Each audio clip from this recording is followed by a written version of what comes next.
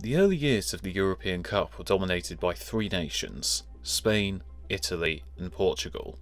Real Madrid won the first five editions of the tournament, with Benfica and Inter Milan picking up two trophies, and AC Milan winning one as well. But the competition soon began to open up. Celtic would win the competition in 1967 and were followed the next year by Manchester United. Two new nations had a European Cup winner, and in 1970 there was a chance for another. Feyenoord reached the 1970 European Cup final, where they would be up against Jock Stein's Celtic. Ernst Happel's side had the opportunity to become the first ever Dutch side to win the European Cup. This is a story of the 1970 European Cup final, Feyenoord's shot at glory.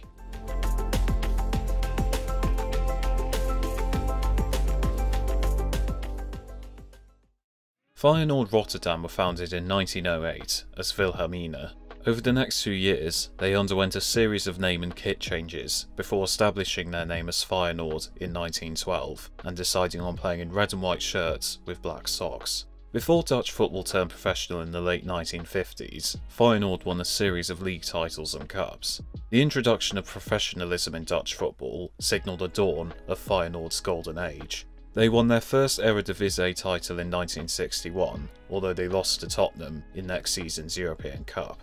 They would continue to sweep up trophies over the next two years, including League and Cup doubles in both 1965 and 1969. In 1969, they had set the Eredivisie alight, losing only three games, and Swedish striker Ove Kindvall scored 30 goals along the way.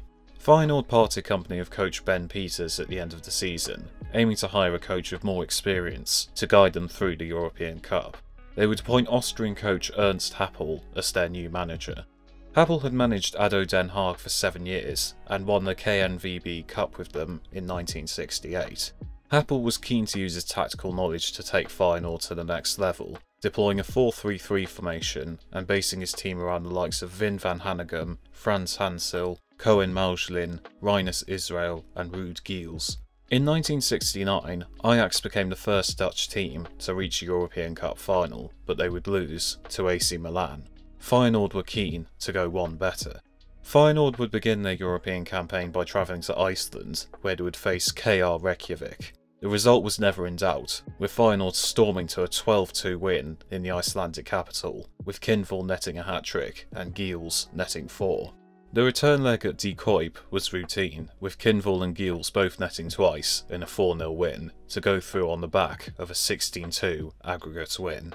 However, their next tie was in no way comparable. They were up against holders AC Milan. The Milan faithful believed that they would easily find their way into the next round, and as a result, only 17,000 of them attended San Siro for the first leg. AC Milan won 1-0.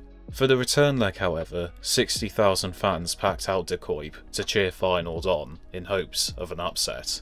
An early goal from Wim Jansen brought Feyenoord back into the tie, and with 8 minutes to go, Willem van Hanegem added a second to seal the Rotterdam side's place in the quarter-finals. Having knocked out the holders, they had announced themselves and proved that they weren't just along for the ride. Feyenoord would travel across the Iron Curtain to East Germany for the quarter-finals, where they faced Vorwärts Berlin. Once again, Feyenoord lost the first leg 1-0, but they repeated themselves in the second leg too. Goals from Kindvall and Henk Wery took Feyenoord to a 2-1 aggregate win, and their place in the semi-finals was sealed. Feyenoord had the potential to face Don Revie's Leeds or Jock Stein Celtic in the semi-finals, but instead the draw would put them up against Eastern European opposition again. They would face Legia Warsaw in the semi-finals. A nil-nil draw in the Polish capital meant it was all on the second leg, but once again, Feyenoord scored twice. Goals from Van Hanegem and Franz Hasil sent Feyenoord into the final, where they would be up against Celtic. Feyenoord had faced disappointment in their domestic competitions, with the legendary Ajax side led by Rinus Michels and Johan Cruyff sealing a double for the Amsterdam side. Celtic, as champions three years before, were the favourites for the tie. Jock Stein's side were highly confident they could win a second European Cup, and Happel needed to work out how he could contain them.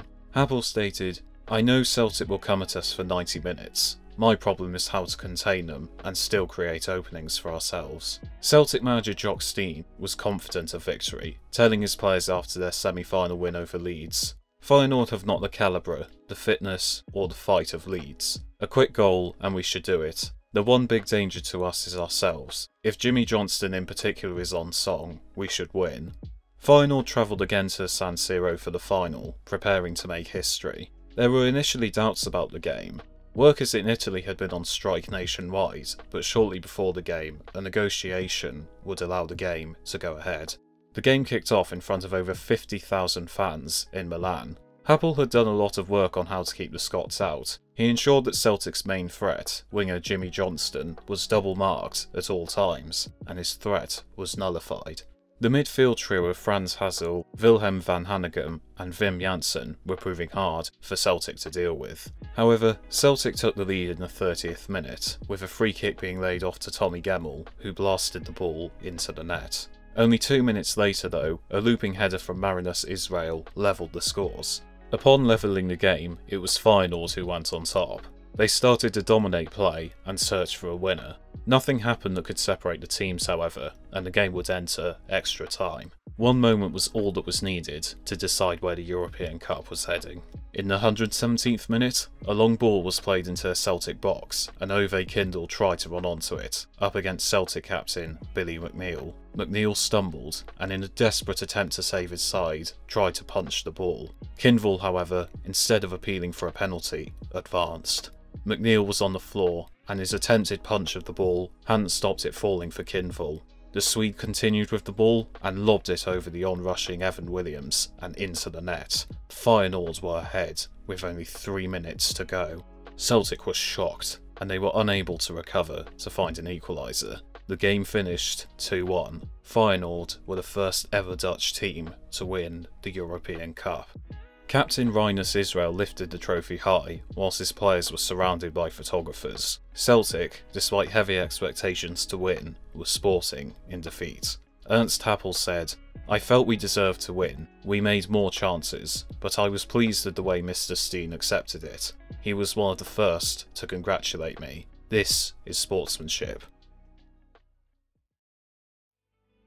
Feyenoord returned to Rotterdam and paraded the trophy proudly as adoring fans lined the streets. The victory was the start of something special for Dutch football. Fellow Dutch side Ajax would win the next three European Cups, and whilst Feyenoord have not won the European Cup again, they would capture the UEFA Cup in 1974.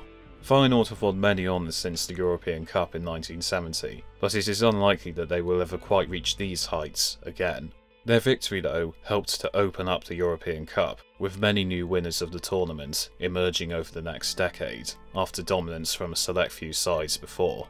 Their victory may not be as renowned as other successes in the European Cup, but defeating holders AC Milan on the way to pipping a legendary Celtic side to the European Cup was a fantastic underdog tale that the Feyenoord faithful remember fondly to this day.